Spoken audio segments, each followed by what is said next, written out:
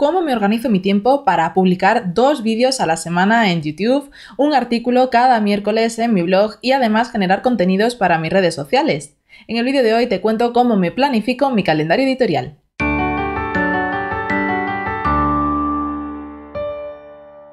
Publico un nuevo vídeo cada miércoles y cada domingo, así que si no quieres perderte ninguno de ellos, suscríbete ahora a mi canal de YouTube. A mí me encantará verte en el próximo vídeo.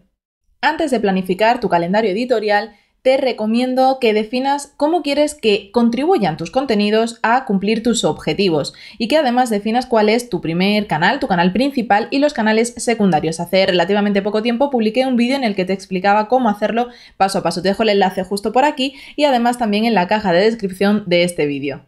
Y ahora que ya tienes claro cuál es tu canal principal, ese canal en el que te quieres centrar, es hora de que empieces a trabajar en tu calendario editorial.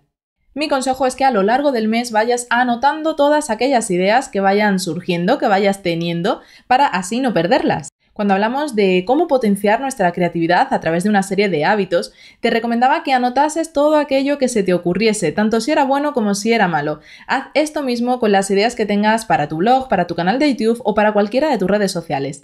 Haz lo mismo con las preguntas de tus seguidores y de tus clientes, porque la respuesta que le des a estas personas también puedes ampliarlas a través de un artículo en tu blog o de un vídeo en tu canal de YouTube y de este modo crear un nuevo contenido que será útil para otros miembros de tu comunidad. Para planificarme mi calendario editorial me gusta trabajar sobre papel.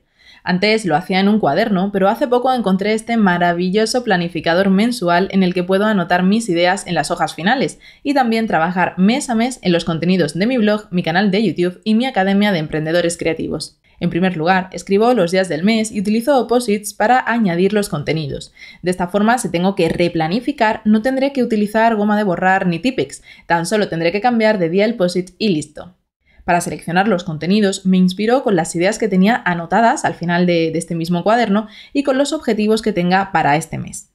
Por ejemplo, si para el mes que viene tengo previsto el lanzamiento de un nuevo producto, que puede ser un curso online, planificaré dentro de este calendario editorial un artículo en mi blog y un vídeo para mi canal de YouTube en el que muestre cómo es este curso por dentro.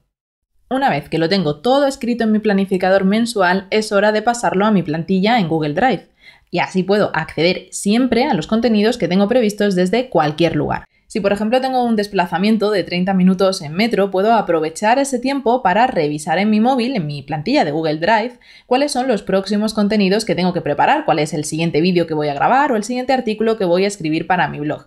Y de esta forma puedo empezar ya a trabajar en esos contenidos, apuntando por ejemplo las principales ideas que quiero transmitir, que quiero comunicar y que quiero por tanto incluir en esos contenidos. De este modo, cuando llega el momento de grabar vídeos o de escribir un nuevo artículo, yo ya sé qué es lo que quiero decir, ya tengo pensadas cuáles son las ideas que voy a transmitir e incluso en el caso de mi blog ya tengo un esquema previo sobre el que luego iré trabajando para ampliarlo. Los contenidos que quieres compartir, que quieres crear, los tienes que pensar tú en función de las necesidades que tenga tu audiencia. Por eso es importante que escuches cuáles son tus, sus preguntas y que al final generes contenidos para darles respuesta. No se trata únicamente de que le des una respuesta corta en un email o incluso en un comentario en redes sociales, sino que luego lo amplíes porque esa misma duda que tenía esa persona de tu comunidad la podrán tener otras personas.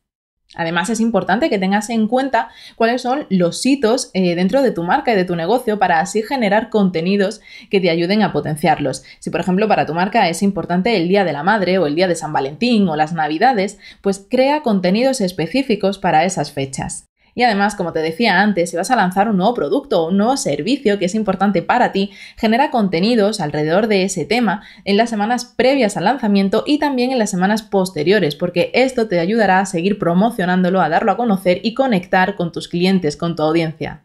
Si quieres seguir inspirante y obteniendo buenas ideas para tu calendario editorial, suscríbete ahora a mi canal de YouTube. Espero que este vídeo te haya resultado útil para planificar tus contenidos y si es así, no te olvides de darme un me gusta y decirme en los comentarios cómo te organizas tú los contenidos que vas a publicar en tu blog y en tus redes sociales. Y además de suscribirte a mi canal de YouTube, te invito a que mires uno de mis últimos vídeos y que me sigas en redes sociales, donde encontrarás contenidos que te ayudarán a liberar tu creatividad y darle a tu marca el impulso que necesita. Visita también mi página web luciagemerecida.es para encontrar contenidos interesantes en mi blog, plantillas y mucho más.